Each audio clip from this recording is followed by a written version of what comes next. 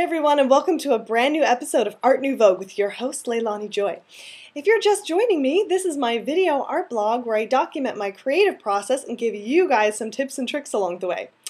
On today's episode, I am actually broadcasting from my brand new in home studio, which I'm really excited about. Uh, my boyfriend and I just moved in together and got our new place, and uh, we're really excited about it. He's an artist too, so I have to share my studio space with him, but luckily, I've confined him to this little corner over here, so he'll stay out of my way. Just kidding, honey, I love you. But anyway, we are still getting settled in, and as you can see, we still got some boxes and mayhem going on, and poor Pokey's trapped over there in a little pen for the moment until I get his cage set up, but uh, I'll take care of him soon. But anyway, regardless of this, I've still managed to create a new art piece and a new episode for you guys today. So let's get going and let me explain what we're doing.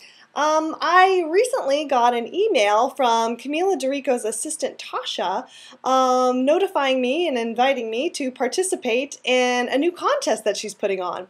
Um, it's going to be a fan art contest inspired by her graphic novel um, Tanpopo and her characters of Tanpopo and Kuro. And she wants us to create our original interpretation of her characters. So I am just super excited. Um, I love this book. If you've not seen this before, I highly recommend picking up a copy of it. This is the hardbound um, anthology that has all three of her first volumes. And it's just a beautiful book and it's so poetic and I could just look at it for hours. And um, so if you're a fan of her, you should definitely get this book and it's just awesome and inspiring. So anyway, I've decided for my piece, I'm going to sort of go back to my roots and my early inspirations. And probably one of my first inspirations ever was the movie The Last Unicorn. And if you're anywhere around my age and a girl, I'm sure you've seen this movie. Even if you're not, it's a, it's a beautiful movie. It's got to be one of the most beautifully animated films that I've ever seen, even to this day. And um, it was just definitely a huge influence on my artistic style and I just I love it. So I'm going to show you guys um, some imagery from the movie if you haven't seen it, and um, I'm going to sort of collaborate um, Camilla's character of Tanpopo and Kuro and sort of put them in the world of The Last Unicorn and as Amalthea and the characters in that movie. So it's sort of going to be a hybrid piece um, incorporating two of my favorite things ever. So it should be pretty cool. So let's get started on that and uh, get some paint on this canvas. Now I've got my color palette ready here and I'm really sticking to the deep blues and the beautiful violets that they use in the film. And I am painting with acrylic paint, since that's the number one thing I get asked on my videos is what kind of paint? What kind of paint? It's acrylic paint. And I paint on hardboard or masonite panel generally. Uh, I have another video about my tools on the trade if you want to check out more detailed information about my materials. So please check that out.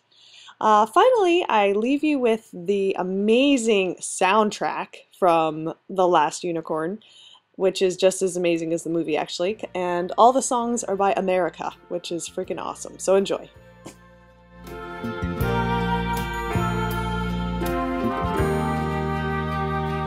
In the sea,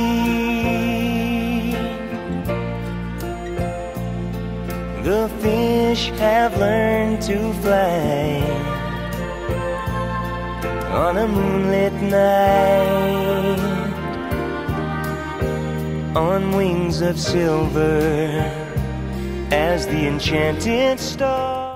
Now I talked about this before, but I like to do my initial drawing with white chalk on my background because it's really easy to remove and wipe off with a wet cloth and it doesn't dig into your paint like graphite or a hard pencil does. Where do unicorns go?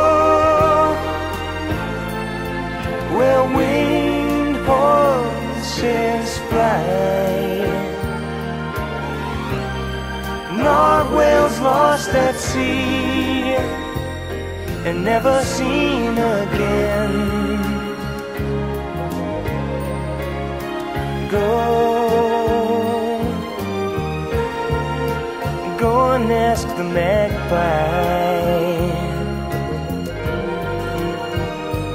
Where do unicorns go?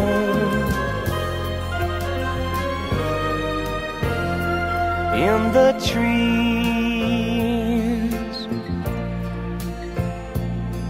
The birds have learned to speak gaily colored. They keep their secrets in a parade of clouds. Playing hide and seek. Do they know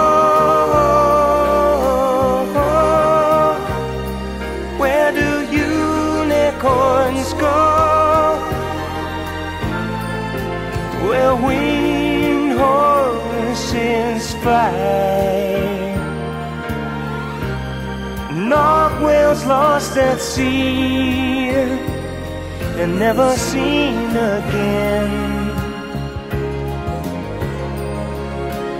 Does myth and mystery lie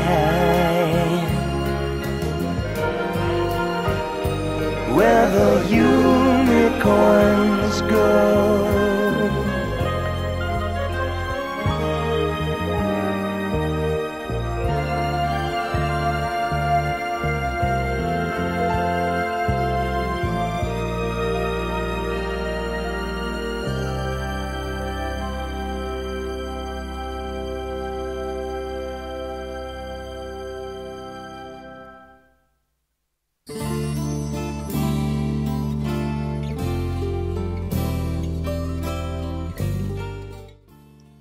Now a great trick with acrylic paint is you can use blue painter's tape to get a nice clean edge like I want with the unicorn horn here. Just remember to let it dry completely before removing the tape. Up to me, the purple dawn, dust screaming, bring an eagle to lead me on. For in my heart I carry such a heavy load. Here I am on man's road. Going to put a few more finishing touches on my Tanpopo Last Unicorn piece. And before I do that, I just want to make a few... But before I do that, I just want to show you guys a few new things. Um, I have some new items in the Etsy store, as always. Um, I've got little cute buttons and magnets and mirrors of my Haight Ashbury Girl, if you were into that one on the last episode. But what I'm really excited about is um, I have some more canvas reproduction prints. And um, this is um, a new one that I have now that is the Mad Hattress. And this is a 12 by 16 canvas. It's a reproduction that's stretched and ready to hang. And I'm going to make these a little bit um, more extra special. So I've decided that I'm releasing um, editions of 10. So I'm only going to do 10 reproductions per piece per original painting. And I'm also going to hand embellish them in acrylic paint. So each one will be personalized and a little bit unique and actually have my artist touch on it, if you will. Yes, fancy. I will have painted on it. Yes, you can keep it forever. Um, so anyway, if you're interested in getting one of these, I can do any image that I've done, any original painting, and um, create them in a variety of sizes. So this is the smallest size that I can do and the most affordable, and I can do up to really large canvases. And they will include a um, certificate of authenticity and will be signed and numbered by me. So remember, I'm only doing 10 of each original piece, so if the original is already sold, you should grab one of these reproductions before I sell out. So just send me an email to Leilani at leilanijoy.com if you're interested in getting one of these. Um, I also have a few listed in my Etsy store that are already um, in stock and ready to buy, so you can check those out as well. Alright, so with that said, let me show you guys how my Tanpopo Last Unicorn piece came out.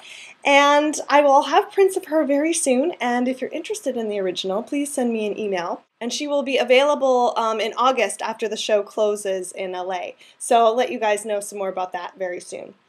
And as soon as I'm done with this episode, I'm going to get to work on those collaboration contest winners that I chose, and I'm going to be doing three episodes, one for each winner. So sorry for um, the wait on that. I've been moving and doing this piece that had the deadlines. This has been crazy, but that's the next thing I'm going to do. So please stay tuned for that. Uh, and finally, I'm also gonna do a video um, from the Tanpopo show and show you guys um, how my piece looks in the gallery. So I can't wait to uh, get that going as well. So there's gonna be lots of new episodes coming up very soon. And as always, thank you for watching. Thanks for your support and all the great messages I get from you guys. It's really awesome, and it always seriously means a lot to me to see your fan art and see you guys improving as artists as I try to do myself. So it's really great to grow along and learn with you guys. So that's been cool. So I'm out of here, and I'll see you guys on the next episode.